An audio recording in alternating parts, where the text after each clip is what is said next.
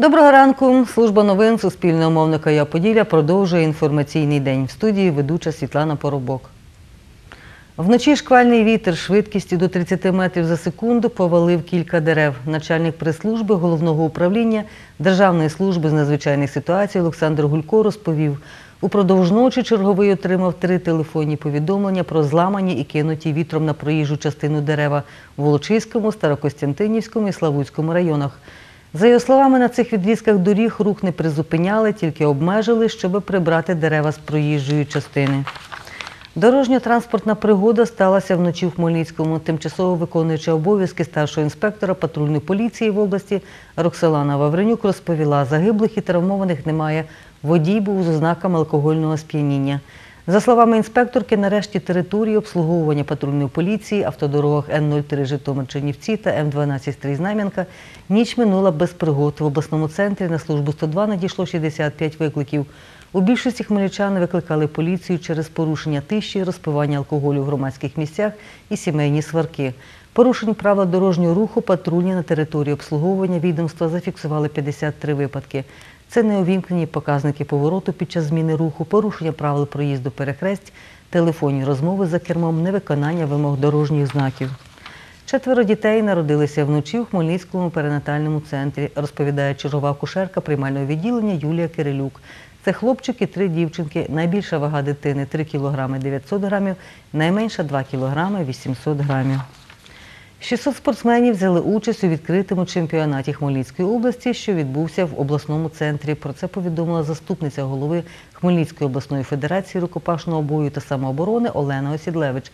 За її словами, долучилися до змагань спортсмени Луцька, Вінниці, Житомира, представники військових частин Національної гвардії та Національної академії Держприкордонслужби України. Присвятили чемпіонат пам'яті командира Афганської сотні самооборони Майдану, учасника бойових дій на сході України, герою України Олегу Міхняку. Більше розповість Тетяна Ворожцова.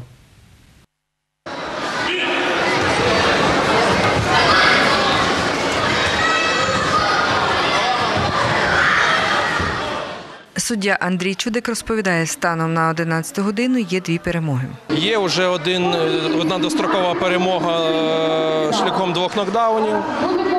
Є одна дострокова перемога з дачею спортсмена. Тобто високий рівень досить демонструють спортсмени. Учасник бойових дій в Афганістані, керівник військово-спортивного клубу Омега Держприкордонслужби України з Житомира каже, його вихованці завжди беруть участь у цих змаганнях. У вашій області, в принципі, проводиться тільки на честь вшанування героїв е, Небесної Сотні, афганської війни. От змагання іменно от в вашому регіоні проводяться, в Хмельницькій області. Отакі масштабні, де залучається дуже багато таких клубів військово-спортивних, да, патріотичних клубів, які е, займаються рукопашним боєм, початковою військовою підготовкою. У цьому поєдинку переміг Іван Федоровський, кандидат у майстри спорту, курсант Національної академії Держприкордонслужби України імені Богдана Хмельницького. Складного під час бою було те, що було тяжко е, виконати певний кидок, адже суперник також е, підготовлений. Я раніше брав участь у подібних змаганнях з рукопашного бою. Е, вони загартовують мій характер. Суперник, в принципі, був не складний, але потрібно більше тренуватися. Всі змагання розвивають е, швидкість руху, потенціальні розвитки. Ну, так само захист від посторонніх людей та, та від нападаючих. У відкритому чемпіонаті Хмельницької області беруть участь 600 спортсменів з різних регіонів України, каже організатор змагань, голова обласної федерації рукопашного бою та самооборони Гарій Осідлевич. На наших змаганнях присутньо 16 команд і майже 600 чоловіка версії учасників.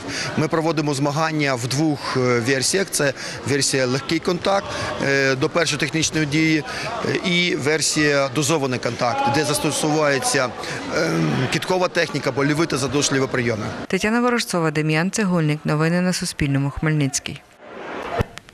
Наш випуск завершено. За кілька секунд в ефірі Суспільного мовника Я Поділля продовжиться твій ранок. А ми чекатимемо нашої наступної зустрічі в ефірі Я Поділля. До побачення.